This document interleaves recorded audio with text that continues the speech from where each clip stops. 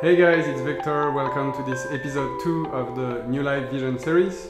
Uh, for this episode, we'll talk about ecosystems and decentralized communities and how they can be extremely important for you to understand in order to uh, succeed in this new life. So, uh, let's take a little bit of background on uh, ecosystems. So, what is an ecosystem? If you think about an ecosystem in nature, it's uh, uh, different uh, participants in nature, the trees, the water, the animals, who are kind of contributing one to another, sometimes in uh, symbiotic ways, uh, sometimes indirectly, uh, and, and the whole ecosystem has uh, somehow an interconnection that makes it more efficient. So if you look at the bees, for example, they are uh, going after the, uh, the flowers, they collect the pollen, they make honey out of it, and so on. So uh, when you think about uh, collaboration between humans, and if you think about it, so we talked about uh, modernity before, and I invite you, if you didn't already, uh, to watch the, the previous video. Uh, when you look at collaboration between uh, humans and in the modern time, in industrial, in the industrial age, you have the corporate structure with the CEO, with the executives receiving orders from the CEO. So the CEO is hiring them, selecting them, then they hire people who work for people, who work for people, and so on. And at the end, you have the people who uh, work and who produce the value.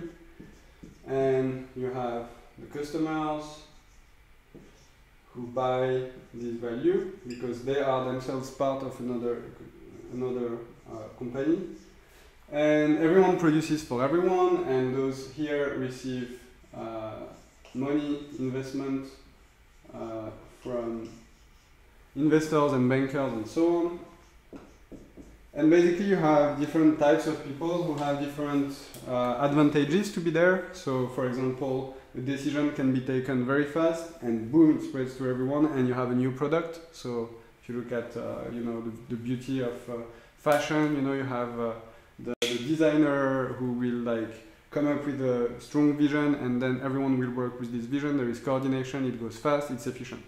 That's the good aspect of this organization. The bad aspect of it is that that person has everything on their shoulder meaning that they have to take all the decisions they have to be all the time um, the best they can. They cannot demultiply themselves, so they have a limited time.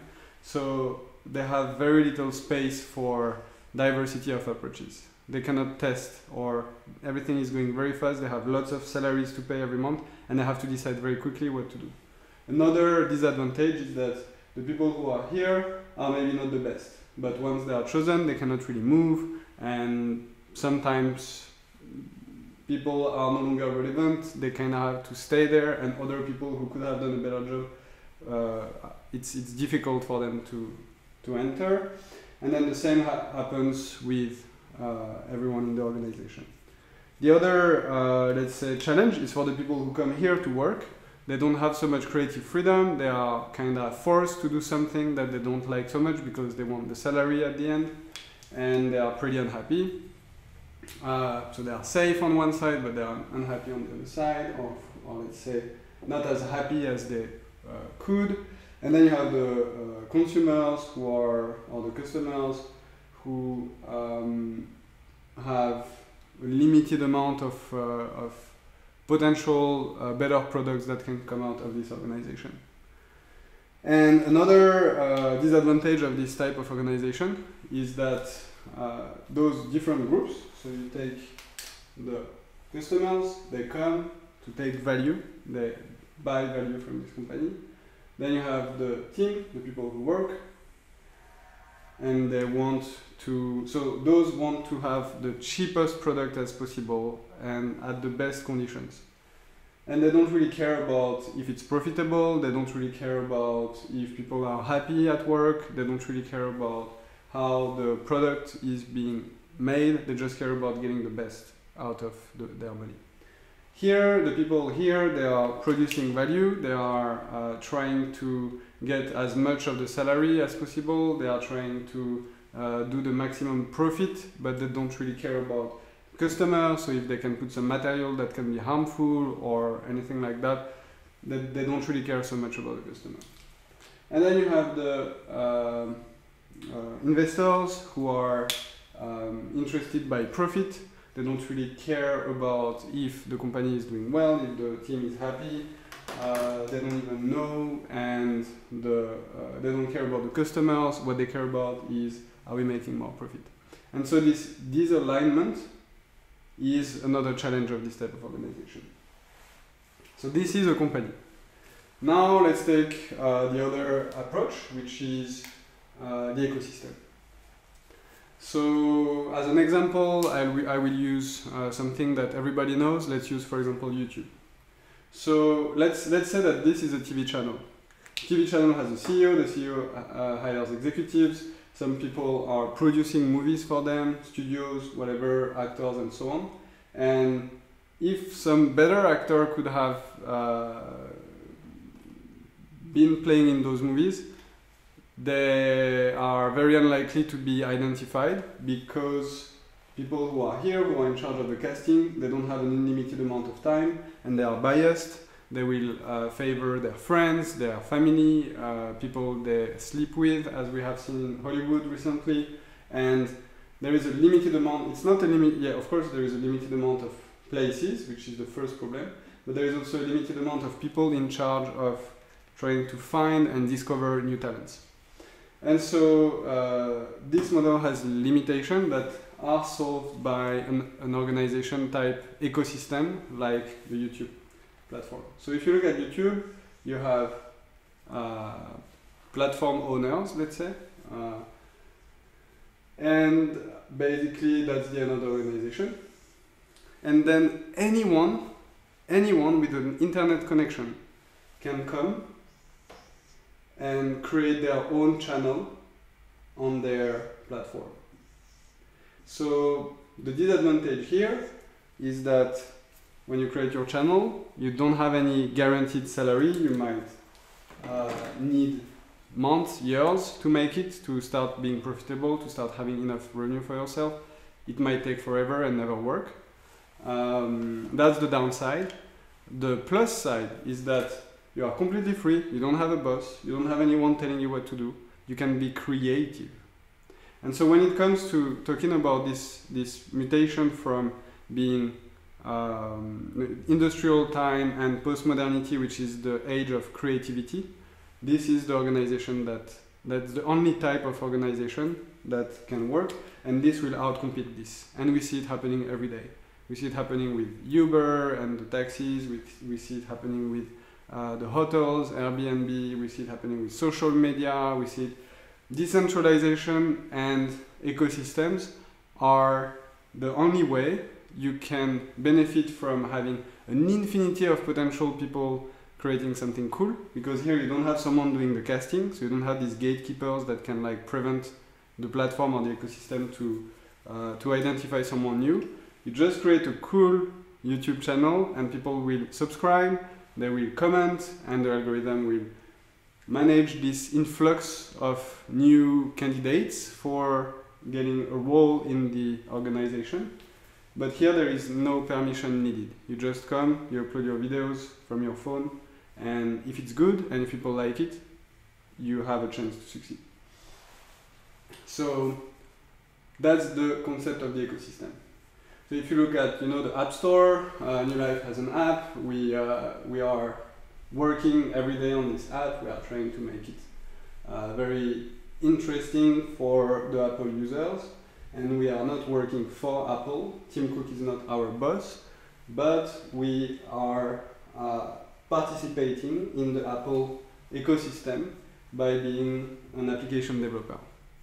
And so it's the same way if Apple had to hire tens of thousands of developers, it would cost us so much they wouldn't be able to manage them well because you would need to have like giant offices, an entire city to welcome all those developers, and some of them would be doing some very creative, cool stuff. Some others wouldn't, and it would be too much of um, a hustle for them to manage all this, uh, the size of this organization. So ecosystems are the way to go, and um, now let's look at the next level of that, which is what New Life is working on. So ecosystems can be decentralized in their, um, let's say, in their operations, but they can be centralized in their governance. So what I mean by governance is at, at some point, the boss of Apple or the boss of uh, YouTube can decide to take an application or to take a video or an entire channel and be like, boom, goodbye. We don't want to work with you anymore.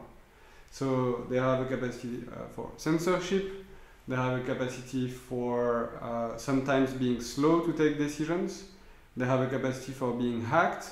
Uh, all the, the centralized platforms have points of failure and they have uh, also the, the, the risk of being like acquired and mismanaged by a bigger uh, corporation, which is something that happens very often. So how can we make sure that an ecosystem will remain attached to its core values and to its community and that everyone is tied by the same uh, level of interest and their interest is actually tied together or aligned together. And so this is the decentralized autonomous community. So a decentralized autonomous community, or DAC, is a type of organization that is running on a computing platform that runs smart contracts. Smart contracts are contracts that are written in the code. And because they are um, encrypted and using a network of computers working together, nobody actually owns it. So you have uh, an interface, a web interface, where you can see, for example, a list of people that you could vote for who are members of the community. So that's one example of, of DAC, but there could be any, um, any other form. So you are like, okay, I own this amount of this platform. So let's say uh, you use New Life and you have a certain amount of nodes, and those nodes allow you to participate in, in decisions because you are a member of the community. So you, um, you use your nodes to vote for people you trust, for people you want to be in charge. And then it means that New Life is no longer a company, but it's a decentralized organization where everyone around not only can participate in the actual uh, features and, and value process of the platform, but you can also own and decide how the operation should be run. And because it's on a blockchain, it's immutable. So everyone involved is at the same time potentially a user, an investor, a contributor. Obviously, there is no employee because there is no contract between two people saying, uh, I will buy your time, and in exchange of this amount, you will do exactly what I said during this time. Everyone here is free. Everyone can do whatever they want. They can work or have fun as much as they want. And at the end of the day, all the value that is produced by this platform will be in some way, again, there are many, many ways to achieve that. Uh, I'm not covering all of them, but value will be uh, very likely redistributed. And so we are reaching this uh, perfect scenario where not only people are creative and free creatively, not only organizations don't have anymore this uh, restriction of having gatekeepers, but on top of it, we have a guarantee that the platform will benefit the people who participate in it. Because if you think about it, the disparity between tech giants and the members of their platforms in terms of wealth is tremendous. If you look at you know those trillions of dollars of valuation that are produced, of course, by great softwares, but by ecosystems of humans, when you look at this, it's pretty obvious that this is not sustainable. You cannot have organizations that keep growing and absorbing new companies and becoming uh, the, the, the giants that run everything. and have the same on the, uh, the political level, having like centralization, centralization, centralization. I think that at some point there will be a threshold where people will say that's enough. We want to regain some kind of sovereignty and some kind of capacity to uh, have a voice and, and be able to participate in the platforms we are contributing. And so I wouldn't see it as like a revolution in the sense that people would go everywhere and throw rocks at uh, police cars and stuff like that. I, I see more a very silent revolution where people would simply stop going to work because they would have so much fun and they would make so much revenue through those decentralized creative communities.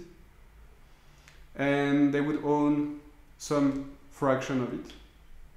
And with the rise of the machine coming to replace us and reducing the price for everything, I see a world where decentralized communities would become something at the intersection between a nightclub and uh, uh, uh, let's say a, a hobby uh, club, people who meet because they have a passion in common, and a company and somehow a local community and somehow uh, a network of trust.